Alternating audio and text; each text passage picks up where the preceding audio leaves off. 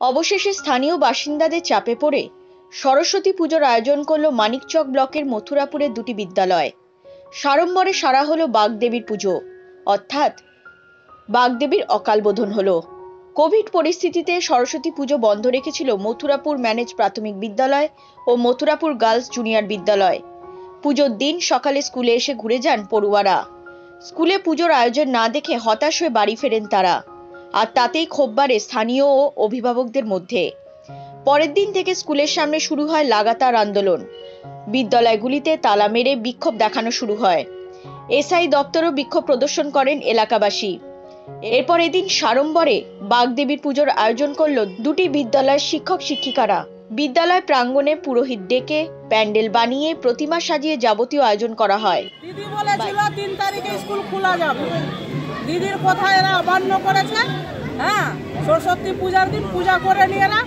তারপরে আমরা জানতে পেলাম আমাদের ছেলেগুলা বলছে কি স্কুল হয়নি। শাড়ি টাড়ি পরে স্কুল থেকে ঘুরে যাচ্ছে। বেড়ে পুষ্পাঞ্জলি কোনখানে দিবা? স্কুলে কেন স্কুল হয়নি? তারপরে আমরা আন্দোলন করলাম ধাকিয়ে ধাকিয়ে দিদিগুলার ভর করলাম। ভর করার পরে ওরা পূজাটা স্বীকার করল যে আমরা বুধবারে পূজা করছি। ওইভাবে পূজা চলছে এখন। বর্তমানে ছাত্রছাত্রী পুষ্পাঞ্জলি দেওয়ার জন্য দাঁড়িয়ে আছে। মানে আপনাদের আন্দোলনের কারণে পূজা হচ্ছে? হ্যাঁ আমাদের আন্দোলনের কারণে ওরা পূজা হচ্ছে। কটা স্কুলে পূজা হচ্ছে? দুটা স্কুল। দুটাতেই পূজা হচ্ছে? হ্যাঁ দুটাতেই পুজো হচ্ছে। কি জানিয়েছে? শিক্ষকরা কি বলেছিল? শিক্ষকরা তো বলছে কি পূজা হচ্ছে না আমরা পুষ্পাঞ্জলি কোথায় দিব? হ্যাঁ তবে আমরা আন্দোলন করলাম ওদের বাবা মা। কেন পূজা হবে না স্কুলে? মাস্টার মশাইরা কি বলেছে? মাস্টার মশাইরা বলছে কি করোনাতে মানা করেছে। আমরা বলছি দিদি স্কুল খুলতে বলল কেন তিন তারিখে? যথাসময়ে পুজো না করার জন্য ভুল স্বীকার করেছেন শিক্ষকরা। দাবি স্থানীয়দের। তারপরে বলছে আমরা ভুল করেছি আমরা চাঁদা লাইনি চাঁদা কিসনি তো ভর্তির জন্য পয়সা কিসের কারণে দিয়ে হ্যাঁ? আমাদের ছাত্র পুষ্পাঞ্জলি কোনখানে দিবে? তবে স্কুলটা হলো কিসের কারণে?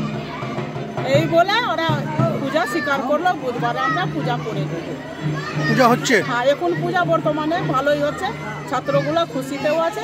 আমরা ভুল স্বীকার করেছে। হ্যাঁ মাস্টাররা ভুল স্বীকার করেছে যে আমরা ভুল করেছি আর জীবনে এই ভুলটা করব না। স্কুলে সরস্বতী পুজো না হওয়ার কারণ যাই হোক না কেন শেষ পর্যন্ত সরস্বতী পুজোর সামিল হতে পেরে বেজায় খুশি পড়ুয়ারা। এই সময় ডিজিটাল।